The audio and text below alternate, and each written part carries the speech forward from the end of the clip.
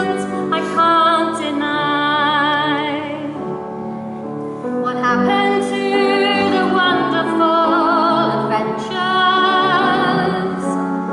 The places I had planned for us to go? Well, some of that we did, but most we didn't. And why I just don't know. Slipping through